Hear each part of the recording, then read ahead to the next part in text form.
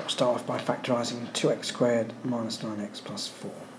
So we're going to need a 2x on the outside, on the inside of the first factor, and x on the other side. I've got 4, and the 4 will come from either 1 and 4 or 2 and 2. I need to make 9 in the middle, and it needs to be a negative 9, but I need to have a positive at the end.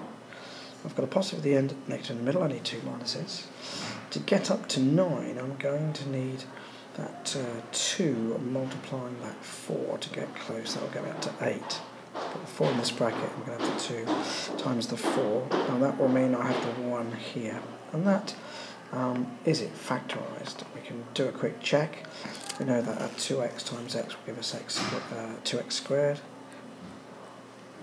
you know that 2x times minus 4 that I've just shown you gives me minus 8x minus x and then minus 1 times minus 4 gives me plus 4 and the minus 8x and the minus x gives me the minus 9x so the answer is 2x minus 1 times x minus 4 now the second part of the question we use the first answer it uses the word hence.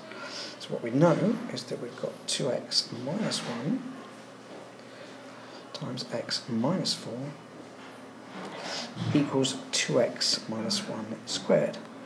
Now 2x minus 1 squared means 2x minus 1 times itself.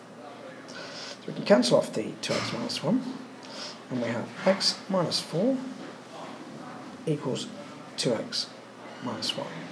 So that gives me, if I bring the minus 1 to the other side, gives me minus 1 minus, so plus 1 minus 4, so 1 minus 4 is minus 3. So x off both sides, and we've got minus 3 equals x, or x equals minus 3. That's the solution to the second part.